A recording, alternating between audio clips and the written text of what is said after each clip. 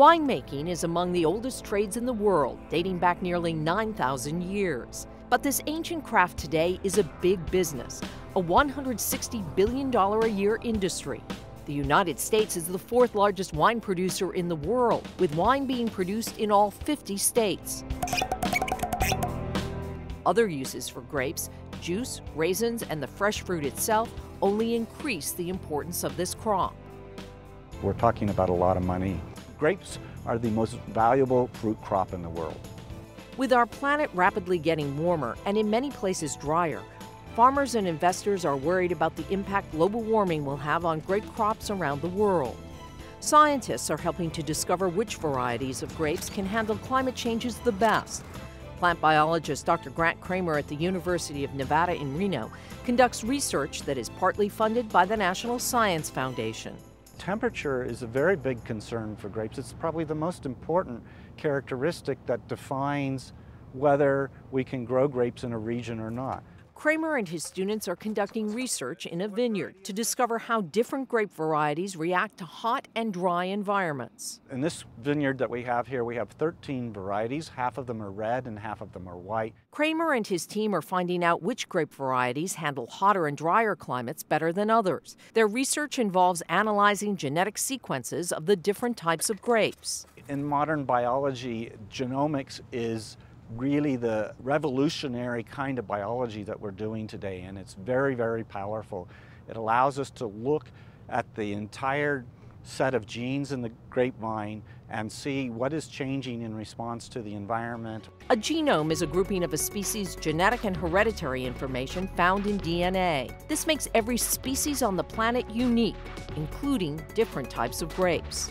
In 2007, scientists in France and Italy sequenced the genome for the grape used to make Pinot Noir. Today, Cramer and his team are currently sequencing the genome of the Cabernet Sauvignon grape. The DNA code of that grapevine allows us to know what it's programmed to do. And so we can compare and contrast Pinot Noir to Cabernet Sauvignon. What makes a Pinot Noir a Pinot Noir? What makes a Cabernet Sauvignon a Cabernet Sauvignon? And this code is key to that factor. The genome also holds information about how different grape varieties react to their natural annual cycle of dormancy. Dormancy for plants is much like hibernation for certain animals.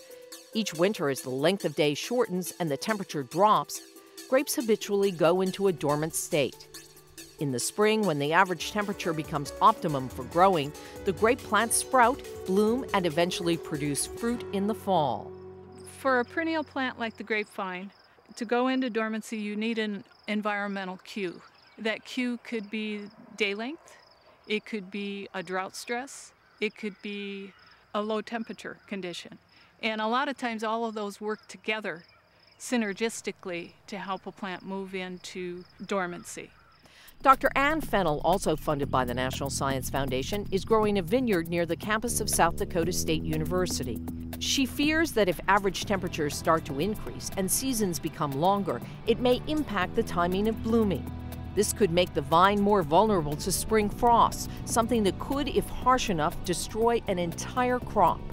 Fennell hopes to determine the mechanism of dormancy and to predict which types of grapes can handle the climate upsets that may lie ahead. Winter conditions are not the same everywhere and we need to identify materials that are best adapted to different conditions. On campus, Fennell is also growing grape plants inside a light controlled greenhouse. To test dormancy, she uses a system of shades to control the length of time the plants receive light. The plants respond to a wide range of light quality. With this automated uh, photoperiod system, it's kind of an on off, it's a switch. Like Cramer, Fennell is also looking at grape plants at the genomic level to help further identify the genes that control dormancy. What I'm trying to figure out is how that environmental cue transcends from the leaf to the bud, which is actually going dormant so that it can survive the winter. Changing climate conditions not only impact how the grapes grow, but also how they taste. And taste is not only crucial for the grape crop, but the entire wine industry. This is our well watered Cabernet, and we've got our drought stressed Cabernet Sauvignon here. And I think you'll see very easily the differences in the wine. Scientists like Cramer have found that some grapes react positively to mild drought conditions, causing the grape to be sweeter and redder in color, like Cramer's Cabernet Sauvignon sample. The drought stress nose is just more complex and it's mm-hmm. layered. You know, you get something at the beginning and then mm-hmm. it just mm-hmm. continues to. Mm-hmm. It's clearly a superior wine.